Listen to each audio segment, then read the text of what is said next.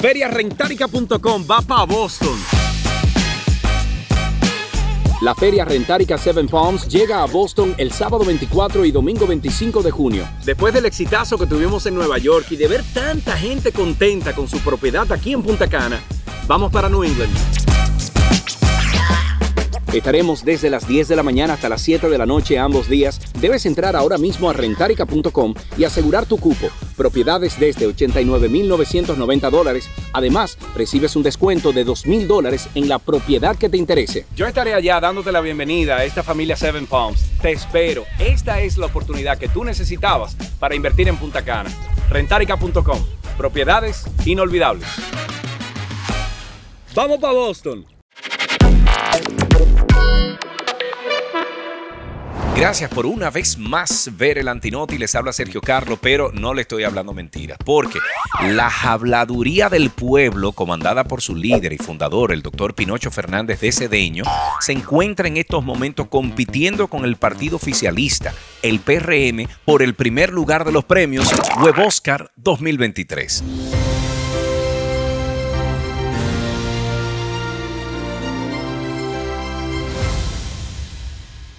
Tenemos una sobreproducción de huevos. Resulta que el afro e impotencia del pueblo se ha dado la tarea no solo de hablarles embuste a sus fupu fans, sino que también cuenta con un grupo de habladores que inventan noticias como los del PLD, pero que por falta de presupuesto no pueden hacer que sus habladurías tengan sustento.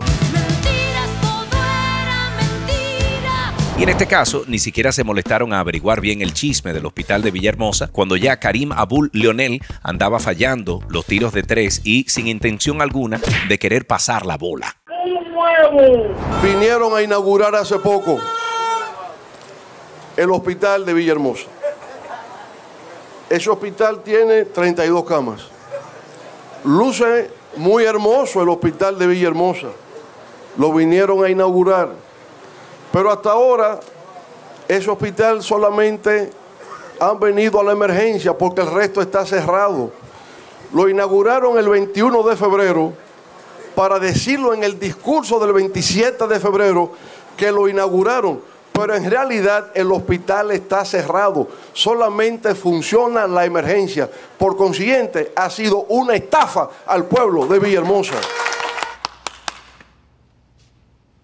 Vayamos allá a ese hospital y preguntemos si el pueblo de Villahermosa tiene acceso a ese hospital y le dirán que no, que lo único que ha funcionado es la emergencia porque el resto está cerrado.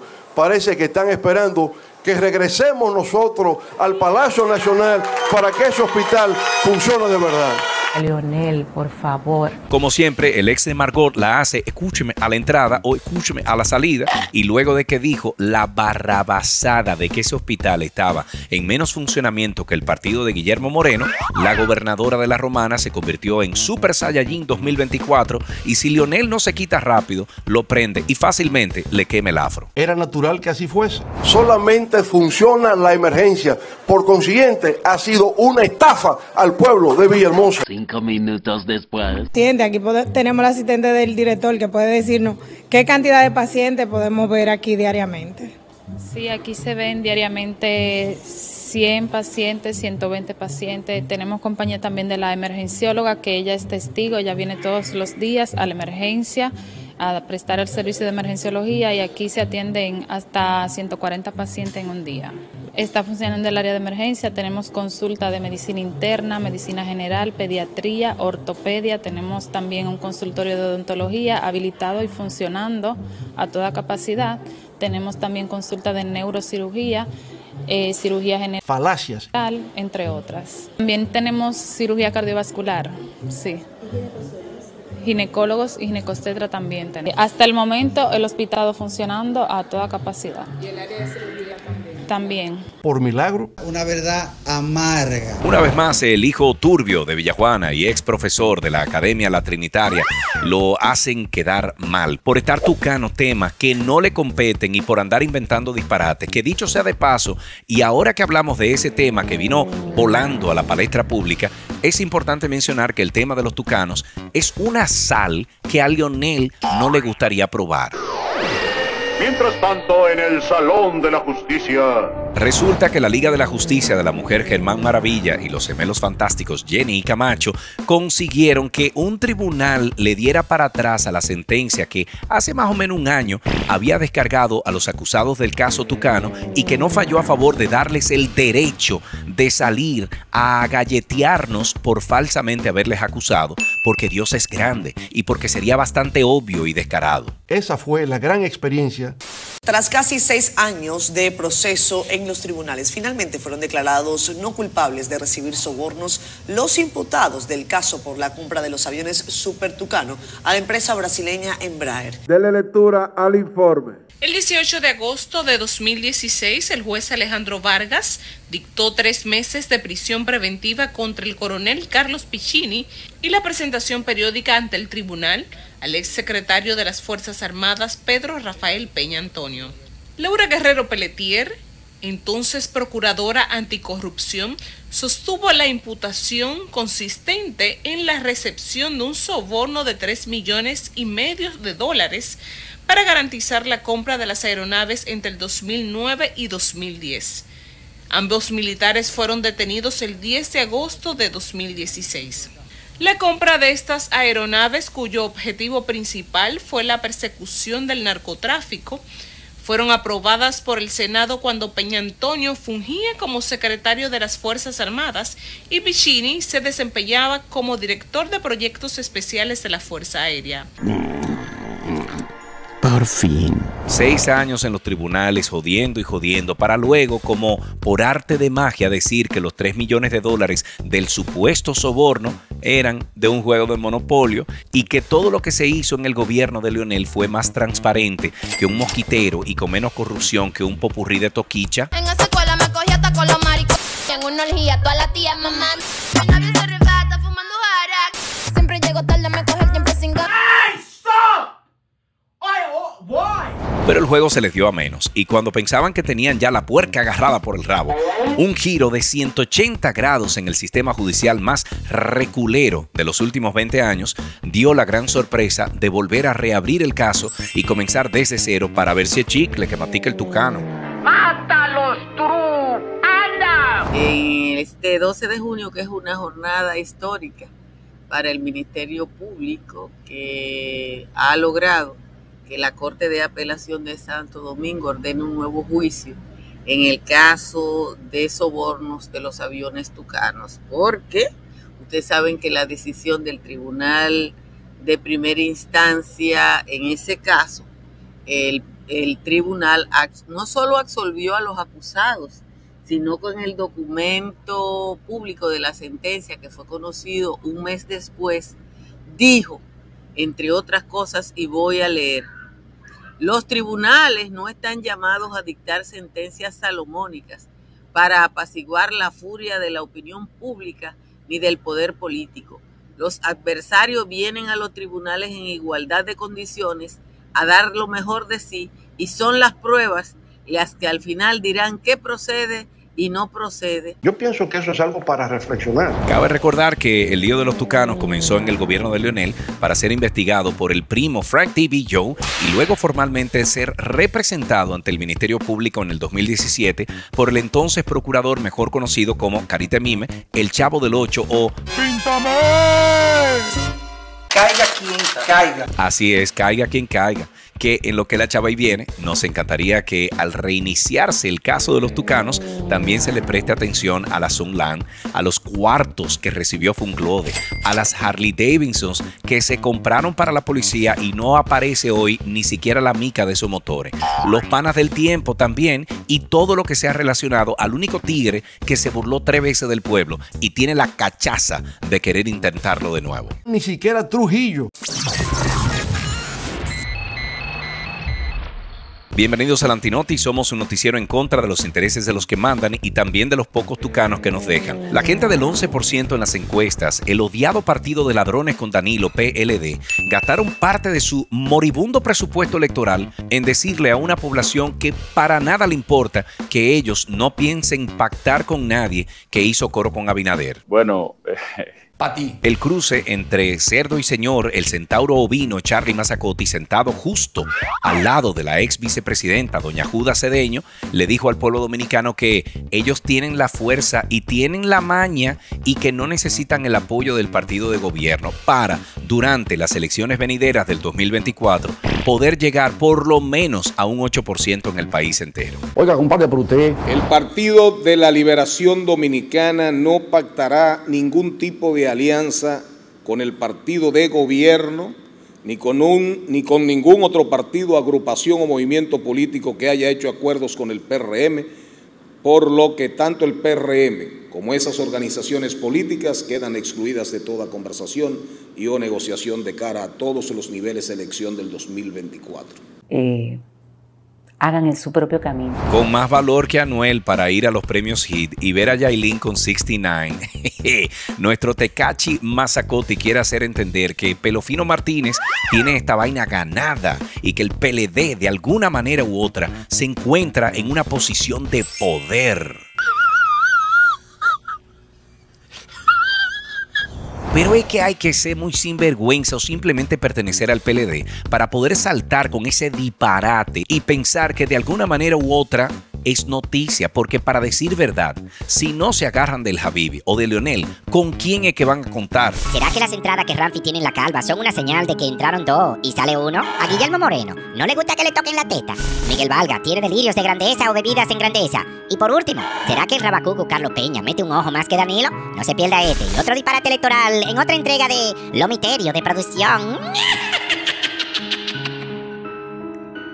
Dejen su loquera, bájenle dos a eso. Si esto sigue como va, la boleta electoral de las elecciones que vienen parecerán, qué sé yo, una guía de teléfono, con más fotos de gente que las que hay en Instagram y con más partido que los que salen a hacer barbecue en Alto Manhattan, en Nueva York. Que por cierto, gracias a ti, dominicano ausente, le quitaron el derecho de hacer barbecue a todo el mundazo porque nos dan un dedo y nos cogemos el cuerpo entero. Coño. Pero eso no solo pasa con el barbecue. Muchos dominicanos en otros países se están poniendo la bandera en alto y mucho más en Estados Unidos, donde la diáspora dominicana está dando mucha agua de beber. Y parecería como una estrategia de oposición del PLD o de la gente de Leonel cuando en verdad es el resultado de más de 70 años de ignorancia llevada a cada plantel escolar. La causa de la educación. Y esto lo digo porque aunque muchos le quieran llamar a este fenómeno la generación a los foque, se sobreentiende que este es un problema que va mucho más allá y que como en reiteradas ocasiones hemos resaltado, para un gobierno es mucho más fácil manejar ñame que tratar de engañar a un intelectual. Era natural que así fuese.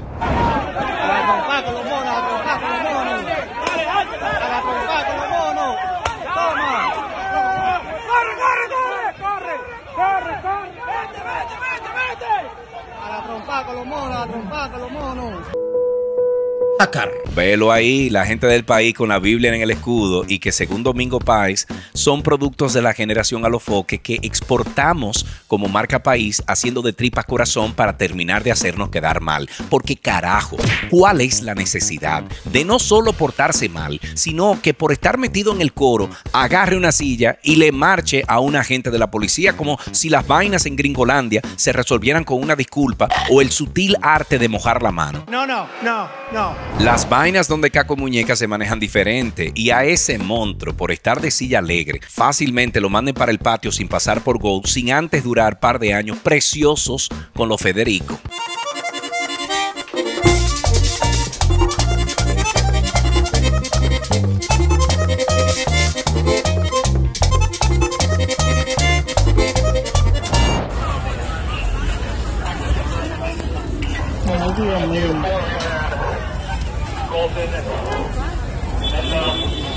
Súper ese coso. Oh my God. Ya se volvió, va para Santo Domingo, este loco. Porque Uy, no borré los WhatsApp. Otra otro futuro trabajador de un call center que llegará a Santo Domingo luego de cumplir su linda condena por resistirse a un arresto, conducta desordenada en público, ataque a un policía y si aparece algo raro en los miau o en la sangre por andar de malo corita.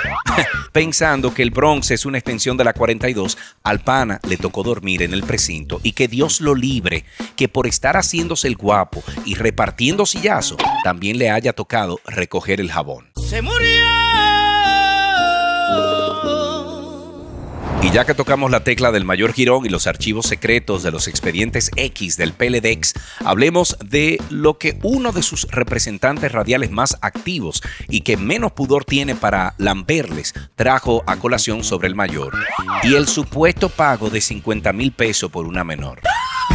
Así como lo oyen, el palito de coco de la Radio Nacional, Julio Martínez Pozo Séptico, con la cara seria y como un machete, escuchó esta orejita mientras uno de los abogados del caso acusaba al Pavarotti de la Operación Coral de ser un sinvergüenza, que no solo se prestaba para chivatear al grupo, sino que tenía negocios con básicamente una proceneta que le buscaba chicas para que hiciera eso que usted y yo sabemos, pero que debido a las nuevas reglas de YouTube y la ñoñería que tienen, no podemos mencionar. Sabía el Ministerio Público que su testigo estrella, Girón, estaba implicado en una violación de una niña de 13 años. Cuando pararon este hombre a hablar como un héroe, sabía que ese individuo estaba involucrado en un acto que de ser cierto era una degeneración total. Sabía el Ministerio Público que este individuo estaba involucrado en acciones para las que uno lamenta que no haya la pena de muerte. No, no, yo no, no sé. eh, Estas son acusaciones extremadamente delicadas y que, de ser verdad, debe caerle todo el peso de la ley. Sin embargo, nace la interrogante de si el mayor no hubiese abierto la boca y cantado más que Carlos Silver, ¿hubieran sacado de abajo para tener algo con qué pelear? Esa es la pregunta porque ahora Girón, el soprano, es lo peor de lo peor, pero mientras estaba en el coro de los corales con Adán, la pastora, con el coronel Núñez de Asa, el pana era uno de los miembros más activos de la iglesia de Adán y miembro poderoso de esa supuesta familia de estafadores. De eso pueden estar seguros. Pero claro, porque no nos sorprendería que aún siendo verdad, esa vaina nunca hubiese salido a la luz pública. Si el pana se hubiese quedado callado y no habría metido al medio a todo el que está implicado en esta red de supuesto lavado. Eso sí es verdad. Y hablando de redes de delincuentes y acusados, en la hermana República de Isibao, tierra de Don Miguelo y región del país que nos dio a Brinca y a Cucharimba, se armó un arroz con naiga luego de que la mañana de Maite se vieran sobrevolando baise helicóptero, guayas regados por diferentes partes de la región norte y camiones prietos que no eran de la camiona, sino que lo llevaron para cargar futuros embajadores del aire de recoger el jabón en alguna cárcel de la capital. Eso duele. Lo que más duele, mi querida primera lady, es que según los medios noticiosos y las investigaciones de Tienuria, la única razón por la que les van a dar para abajo a esos elementos es por haberse pasado de contentos con la matatana del movimiento, o sea, la alofoque del Ministerio Público y la última Coca-Cola de este maldito desierto.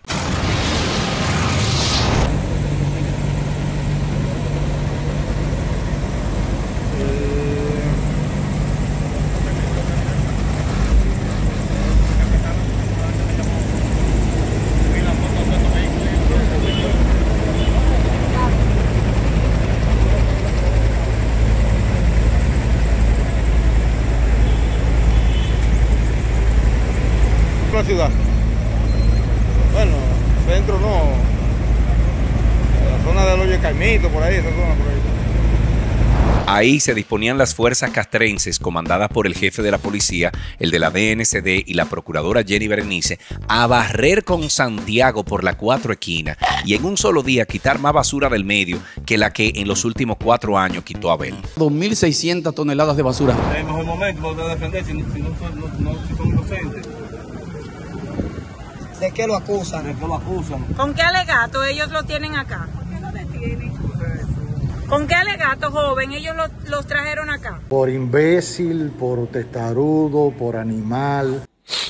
Desde tempranas horas de la mañana, decenas de agentes policiales y de la Dirección Nacional de Control de Drogas han estado realizando operativos, allanamientos en diferentes sectores de esta ciudad de Santiago. Ya fueron apresadas varias personas y trasladadas hasta el Palacio de Justicia en esta ciudad de Santiago. Ahí estamos viendo, esto es el área de parqueo del Palacio de Justicia, donde vemos a las unidades de la Policía Nacional, así como de la Dirección Nacional de Control de Drogas, quienes forman parte de este operativo, estos allanamientos que se han estado realizando en sectores como Olla del Caimito, Secara, también El Dorado, Cerros de Gurabo, los llanos de Gurabo en la carretera Tigaiga y otros sectores. No salgan, que hay bobo. Como ya habíamos mencionado, la operación se armó debido a que un gracioso se le ocurrió la brillante idea de querer quitar a doña Miriam del medio y como no es a un Juan de los Palotes que están amenazando,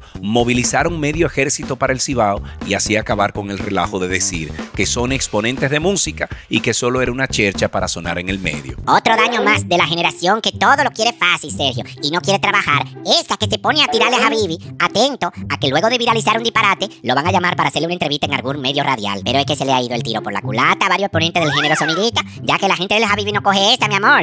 Y a todo el que se pase de contento, lo mandan a buscar agarrado por la correa y sin derecho a protestar. El cambio. Nosotros de nuestro lado continuaremos trayéndoles las últimas noticias de estos allanamientos para por lo menos entretenerles con los movimientos que hace el Ministerio Público si usted es sangre azul, porque para nadie es un secreto que si fuera usted que nos está viendo al que hubieran amenazado, sale a poner la querella y fácilmente lo dejen trancado. Hasta aquí esta emisión del Antinoti correspondiente al miércoles 14 de junio del año 2023. Soy Sergio Carlo a nombre de todo el equipo del Antinoti, te vi, te veré.